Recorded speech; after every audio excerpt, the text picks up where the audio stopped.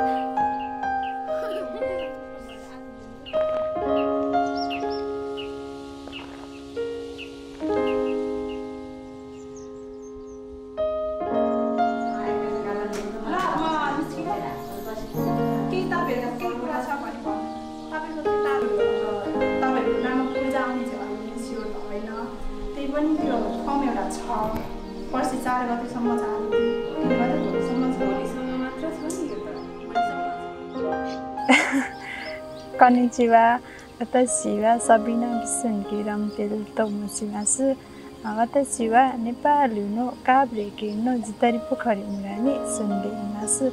私は PSG の2018年の研修生です。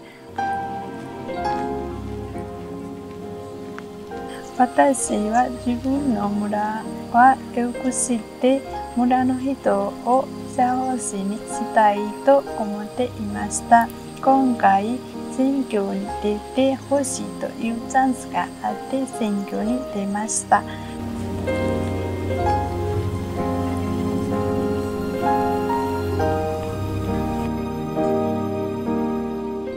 日本から帰ってきてから村の女性グループで自分の名前書くできない人たちにネパール語を教えていました。その時にコロナの問題始めました。ネパールの国でロックダウンでした。その時に PSG と日本人のおかげで私の村の人たちに食事を配りました。他にもオンラインクラスで日本人にネパール語を教える仕事も始めました。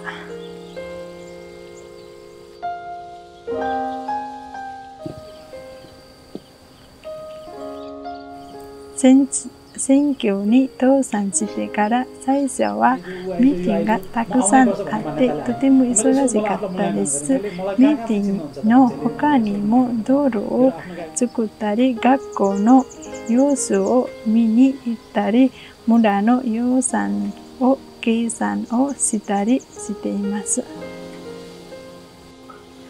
私私はそのミーティングの中で自分の村の問題をよく話しています。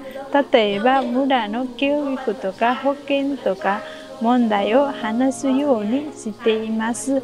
だから私は村の人たちの話を聞くのはとても大事で、どんなに忙しくても村の人たちの会議に必ず出るようにしています。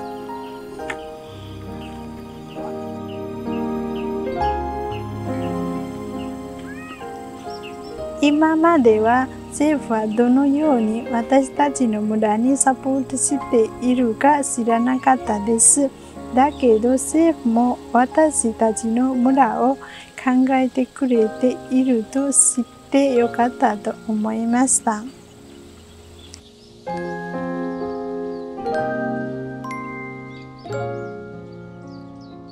今大変なことは村の人たちみんなが私にとても期待するんです。自分の力も限りあるので難しいです。他にも村の人たちに病気になった時電話してきてでも私は病院じゃないのでできないこともあります。私の村に300人くらい人住んでいます。全員に同じサポートをするのは難しいです。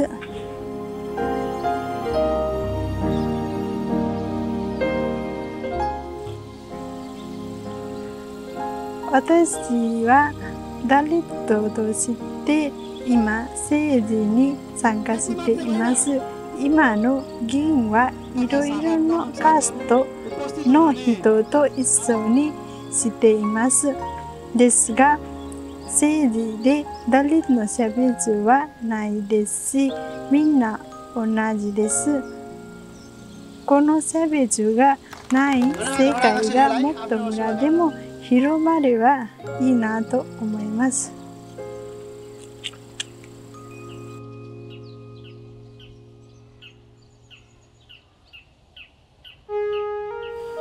私は今回当選して村を変えるチャンスがもらいました。まだ私は初めてのことが多いので最初の1年にはたくさんの人からたくさんのことを学んでその後で私は村を変える力になりたいです。これからも皆さん応援よろしくお願いします「